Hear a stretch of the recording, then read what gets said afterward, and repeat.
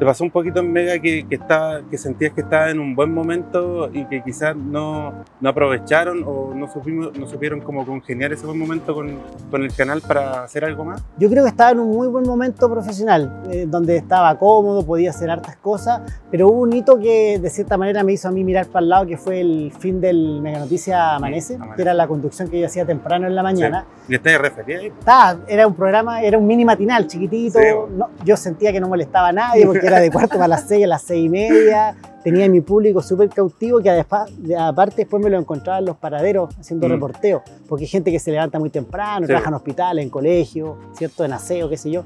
Entonces, pues había una muy buena sinergia. Y en términos de resultados le iba bien. Nosotros entregábamos en 3, 4 puntos a veces a las 6 y media de la mañana, que es tremendo rating, sí. salvo la época del Mundial, por, la, eh, por, temas lógicos, digamos, TVN y, de transmisiones, y, sí. y, Canal 13 y se llevaban parte del colchoncito, eh, Chilevisión también, pero salvo esa etapa eh, teníamos muy buenos resultados. Ahora, fue una decisión del canal, de la jefatura, que uno cuando trabaja en prensa finalmente las tiene que acatar nomás. Pero en el plano personal sí me dolió un poco porque sentía que lo estábamos haciendo bien, que habíamos conectado con la audiencia y eso me hizo como replantearme un poco la, la idea de quizás explorar en otros lados y justo llega lo, lo de TVN.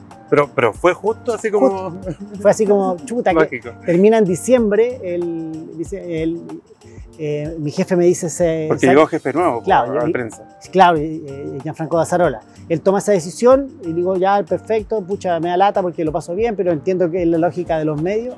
Eh, esto me dice, vas a estar hasta el 31 de diciembre, perfecto. Y yo el 13 de enero ya me iba de vacaciones, entonces andaba medio enrabiado y qué sé yo, pucha, ¿por qué? Y, la típica que uno se hace cuando te, te sacan de algún proyecto. Sí.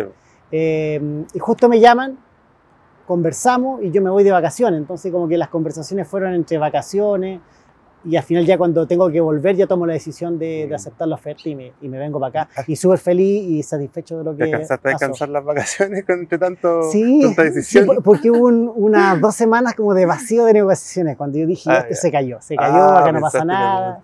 Entonces dije, ya, volvamos con las pilas puestas. Y después, justo antes de volver, ya me llaman de nuevo y ahí se reactiva y, y nada, le dimos nomás para adelante y no, contento de la decisión.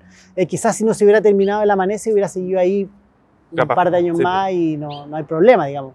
Eh, yo era un, eh, un profesional súper feliz en Mega tampoco, nunca me fui pelando, ni mucho menos.